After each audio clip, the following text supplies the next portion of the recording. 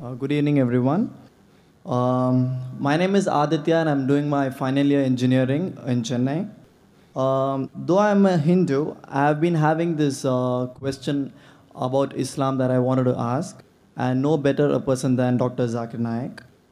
Uh, as you said in your speak many times, the Holy Quran was written 1400 years ago and is considered the most worthy and the latest revelation given by Allah. So I have two questions to you.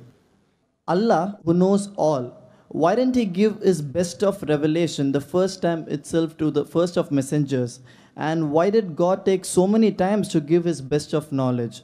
And my second question, which is related to this, is even before the Holy Quran was written, that is 1400 years ago, human beings had lived in the earth for thousands of years. So, why did Allah, the most merciful, didn't give them that best knowledge which He has given us for the last 1400 years?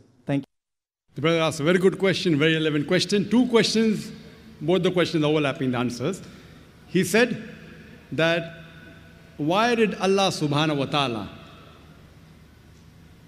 give this last and final revelation 1400 years ago? Why not in day one when human beings were there? And second part, which is a part of the same question, that what about the people who lived before 14 years ago? They were deprived of the Quran. So if Allah is most merciful, most gracious, most beneficent, so isn't it that the people earlier before 1400 years were deprived? Very good question. To reply a question, my son, he tells me that Abba, father, you want me to become a doctor? Why do you put me in nursery, first standard, second standard, then school, then college? Why don't you put me into medical college directly? If I want my son to become a medical doctor, I don't have to put him into the medical college directly. I have to first make the grounds very clear. First, he goes into the pre primary school, then goes into the school, first standard onwards, on passes school, then goes to the higher school, then college, and when he's fit, then he enters the medical college. Similarly, Almighty God, who has knowledge of the unseen, has knowledge of everything, he even has knowledge of the human beings. So, it is mentioned in the Quran, in Surah Ra'd, chapter number 13, verse number 38. Allah says, لِكُلِّ kitab, That we have sent a revelation in every age, in every period.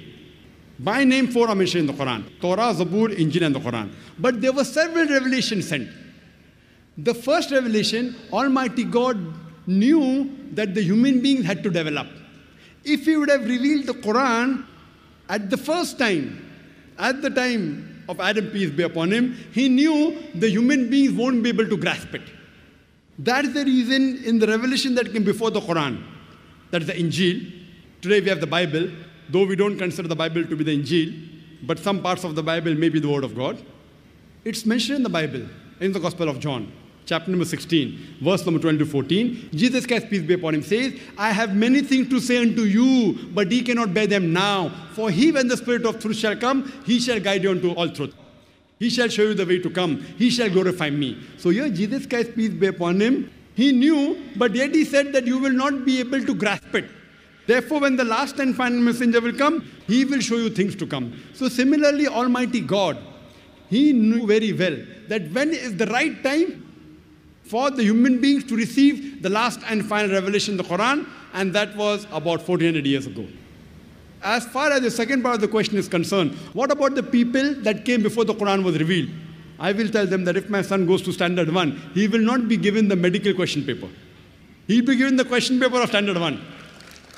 If he goes to higher school, he'll be given the question of higher school, then junior college. Fine?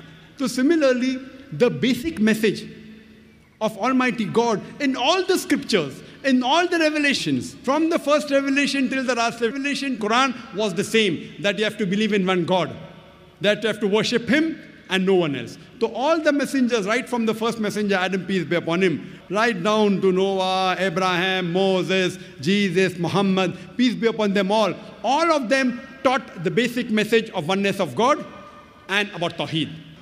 And about this message of oneness of God and Tawheed, inshallah, I'll be discussing in detail on the last day of this conference, on the last Sunday, that's the 20th of January, inshallah. Hope that answers the question.